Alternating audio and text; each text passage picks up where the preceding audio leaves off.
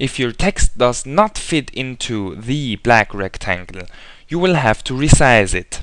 Do this by right-clicking the font, then going into the Fonts tab, which is a little F icon called Object Data in the toolbar here. And then left-click this little arrow, left to Size, to change the size of the, your title. Then remember this value here, right-click the 3D text and insert the exact same value.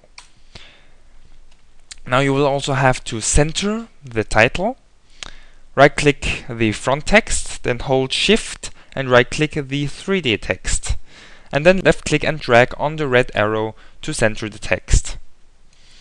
Now you will also have to resize any E's, right click on them, drag them into position, and then change the manipulator mode to scale manipulator mode, which is a little icon down here.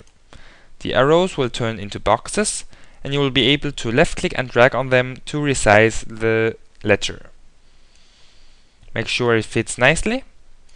Do this for any other E's and then go back to the render tab which is a little camera icon on the toolbar and click animation.